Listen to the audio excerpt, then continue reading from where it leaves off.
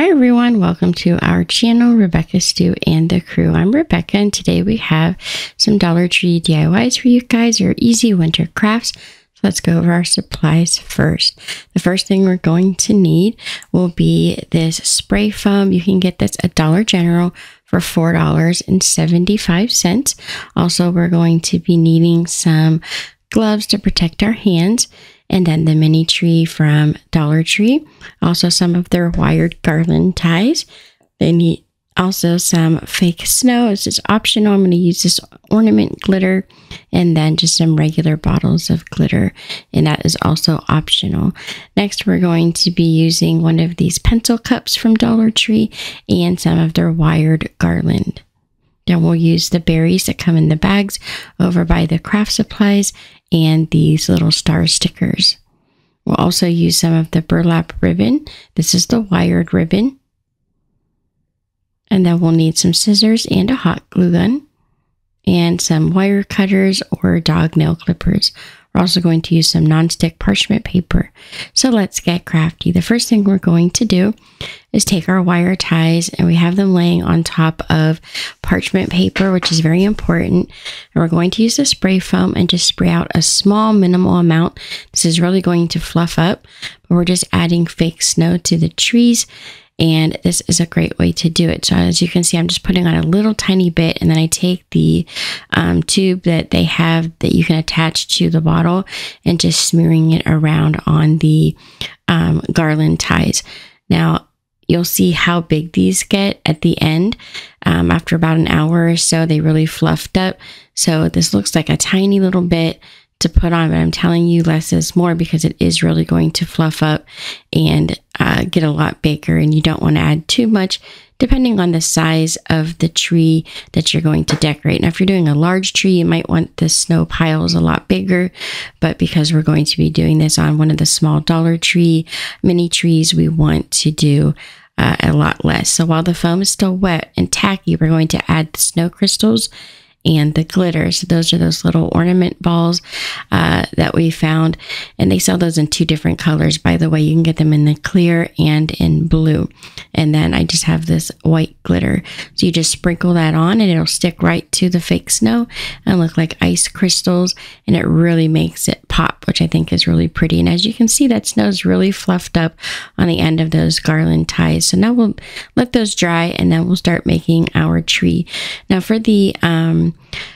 little holder here, the pencil cup. If you want to, you can just fill it with the spray foam and let that dry while you're waiting for the wire ties to dry. And then you'll be able to use that to stick your floral into. But I am just going to use a pool noodle because I have some um, that are already cut up and I'm trying to use up all the pieces. So what you're going to do is just fill around the cup there. And I like the pool noodle because I can put the hole right in the middle and I remove the end of the tree and then I can take that and stick it right in the center of that pool noodle to help hold it in place. And then once we have it there and make sure it's not going to fall out, it's nice and tight, then we're just going to go ahead and replace the tree.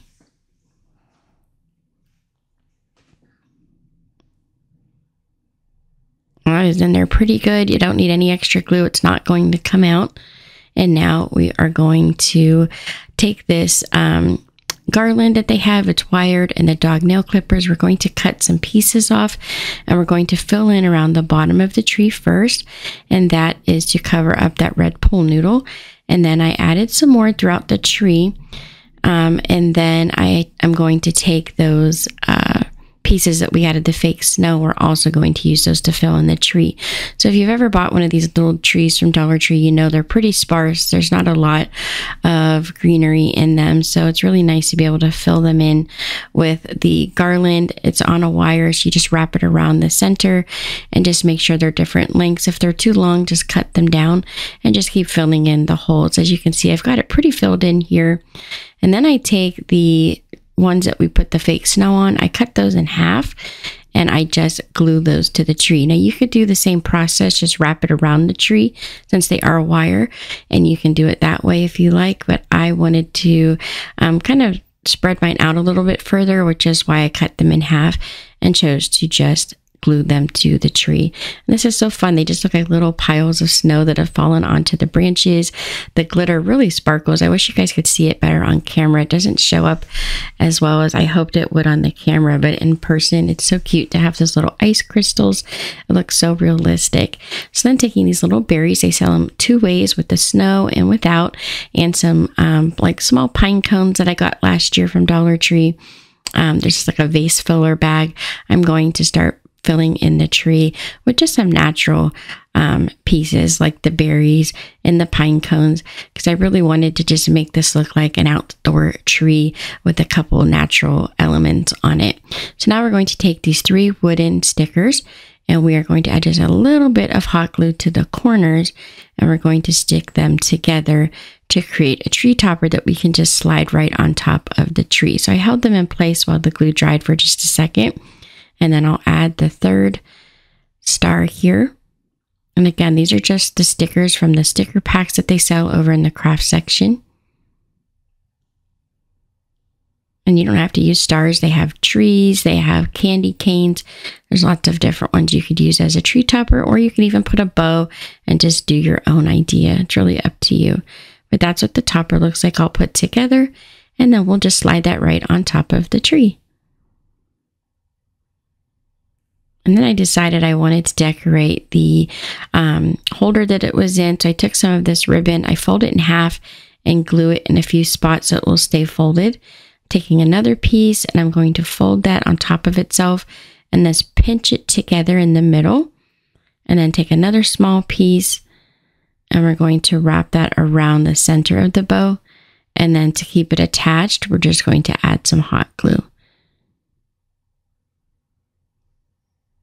And you'll want to hold this in place for a few seconds while it dries, just to make sure that your bow stays together. It's a very easy, simple way to make a bow.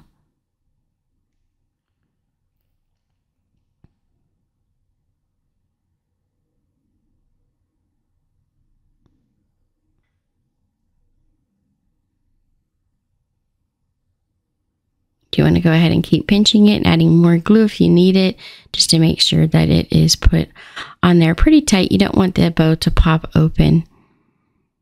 And then trim off any random strings that might have popped up while you were trimming it down. So now we'll attach this to the holder. I probably should have done this first, but I thought of it after the fact. So all I did was I took a little bit of glue and added to the cup and then wrapped the ribbon around it, cut down the excess, and then just glue the ribbon on top of itself. And I made sure it was pretty straight. And then right there where that opening is, where you can see that we had the overlap, that's why we put our bow, and that will help hide that overlap. Then I added a few little gold leaves to the bow just because I had them and I thought it would be pretty to add to the um, front of this, help decorate it just a little bit. And so that's our tree, nice and natural, not too hard. I mainly wanted to show you how to add the fake snow to the trees. Um, you know, you can use this, like I said, on a big tree. You can use the wire garland and pre-make them, just let them dry, and then add them to your um, big Christmas tree. And, or you could, you know, of course, use it for smaller trees, wreaths. There's lots of uses for it. So now for craft number two, the supplies we're going to be need again is going to be the spray foam. Now this is optional. You could use pool noodles for this. It's really up to you. We'll need some parchment paper and some gloves. And then we're going to need some twine. Also, we'll use this birch ribbon from Dollar Tree and then the double-sided tape that they sell. We'll need that, some hot glue and some scissors and then some paper towel tubes or gift wrap tubes. We'll use these berries again and some little pine cones. And then we'll need some of uh, the paintbrush and Mod Podge and then fake snow, which is up to you, and the wire garland ties. If you would like to use those, it's really up to you how you want to decorate yours. So let's get crafty. So the first thing we're going to do since I'm going to be using the spray foam, again, you can just use um, pool noodles and cut them down to size and use the same, make the same project here. They're just going to be a little bit bigger. So all I'm going to do is fill up these tubes with the spray foam. And they take about two hours to dry because they're not that big. And um, you don't want to have too much come out the end like that one. I had too much come out the end because you're going to get some that really pops out the end once it expands. Once it expands out past the ends, before you remove the tube, you're just going to grab hold of the foam that comes off of the ends and you could either cut it off or just grab it and pull it off. And the tubes are just like a one-time use because you'll have to rip them off of the um, spray foam to remove it. So that's why I have so many. Um, I wanted to make a couple of these now we're going to be making logs, so we want these at some various length, um, but you can cut them after the fact. So I, that's why I have all the tubes about the same length here. So again, I just let it dry for about one to two hours, and then I remove it with a razor blade, just kind of like peeling it like you would peel um, a carrot or an apple. Yeah, I'm just lifting up the corners of the tube and then pull, and it comes off quite easily. Um, it just sticks to the tube a little bit, which is why it's a little bit cumbersome. It takes a minute to get it all off, but it's not hard to do. Just, you know, pop on a show you like to watch and peel off all of the cardboard and in no time at all you'll have all of the cardboard off of all of the tubes and then you can use them for these crafts which are just so much fun to make. I'm so excited how these looked when we were finished making them. Um, but as you can see, the ends are a little rough because I ripped off the ends, uh, but that's okay. We're going to actually trim these up a little bit. So then we're going to take that birch ribbon and then these tubes and we'll start making the logs. So I'm just going to trim off those edges, just make them look a little bit neater. We're not going to see the edges all that much, but just so I had a nice end to work with, I was trimming off the ends uh, just to make sure it was a little bit easier to work with because some of them were a little bit rough. So I did three different sizes here. One of them is actually a little bit larger in circumference. And then I have two that were smaller. So one was a paper towel tube, and one of the, uh, the other two I used a gift wrap tube. So they're different sizes, which I like because logs aren't all the same size around. So that's why I did that. So now I'm just going to measure how much of this ribbon we're going to need to wrap around the um, foam. Is what I'm doing here. Once I have it measured, then I'll just use that uh, first piece to measure the rest of the pieces that we'll need. And I'll pre-cut a bunch of these so that I have them ready to go. And each one took about maybe five or six pieces. It wasn't too much. You need one for each end and then the rest to fill in the middle. So we're going to take one piece of that uh, square ribbon and we're going to fold it over the end of our tube. So you just fold it in half and then grasp the ends and you're just going to kind of fold it like you would like a gift wrap um, it took me a second to kind of figure out how to wrap it, but you're literally just going to fold that top down. And then I took a little bit of masking tape and I just taped this down to hold it in place. Now you're not going to see that masking tape. Just make sure it's not too close to the edge because you do need to cover it with ribbon. So we'll do some double-sided tape and we're just going to wrap that around the end. And then you'll remove the second piece of tape that's on the backing to show the sticky part. And then I have a piece of tape also on this piece of ribbon. And we'll just stick it on here and then roll. And then once we get it almost closed, we'll take that little piece of paper off of the second piece of tape that I've already attached to the ribbon. And we'll just continue to roll it.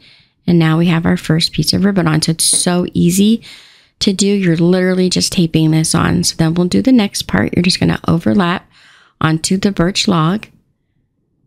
And then we've got our second piece of um, ribbon here. It's already got the piece of tape on the end. And then I'll just overlap. Make sure you do the creases on the same side.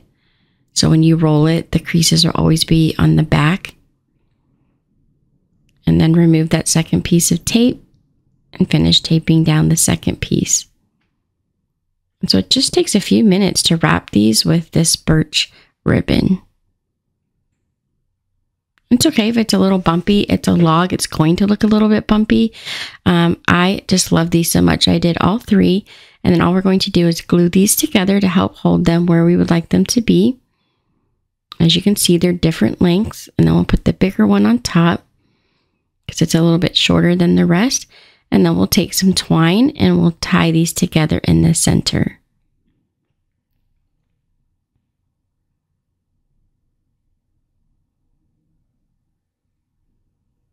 Once I have it tied in a knot, all I'm going to do is take some twine and wrap it around a few times until it looks like we have it all bundled up. And you can put as much or as less as you want on here. You could use ribbon if you like. Um, if you don't want to use twine, they have different colors of twine out sometimes around this uh, time of year. They'll have red and green. You could also use those. That would be pretty, but I just wanted to stick with the natural brown. So once I have it all bundled up here, we'll just cut off the end and then we'll attach it with some hot glue.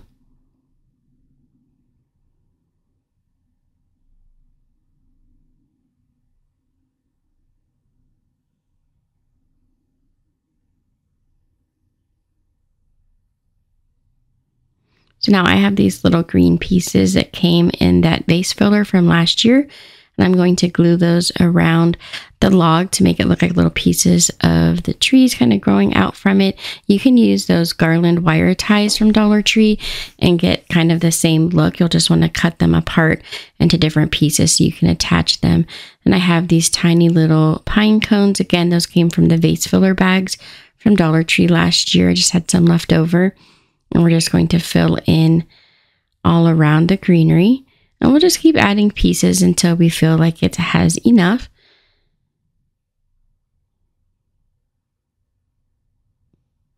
I felt like the middle was pretty bare, so I decided to go ahead and add some greenery to the middle as well.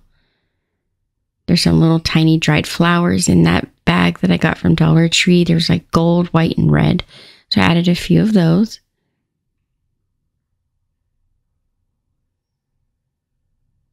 And then I added just a little bit of greenery to the top and then the back. Again, I always try to decorate my craft so that the back looks nice. So if you can think about where you want to put it or you're not quite sure, no matter where it ends up, it looks nice and finished all the way around.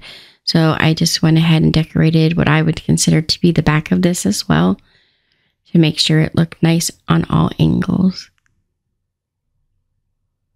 And we just attached all the pieces with hot glue. You don't want to do too much hot glue. It will melt the ribbon um, because it's kind of thin. So, you know, less is more. Don't add a ton of hot glue when you're attaching these little pieces. I noticed that the ribbon did want to melt if I added too much. So now we're going to take the Mod Podge and we're going to just brush that right on top of the log. And you can use any fake snow that you have. These are actually shredded shopping bags, the little white bags. I bought these a couple years ago. It was a huge bag and I only needed a little bit. Uh, but that was all they sold it as. And I've been using it probably for like five years now. But it's literally just shredded up plastic to look like snow. But again, Dollar Tree sells a couple different versions of snow that you could use here. Then after I added the fake snow, um, from the bags and I took a little bit of white glitter and I sprinkled that on top also. I made sure I decorated like the berries. I put a little bit of Mod Podge on top of the berries there so I could add snow to those so that it would look like some ice crystals just kind of fell and froze on top of the logs and the berries. And then we'll just let these dry for a few hours and then our project is finished.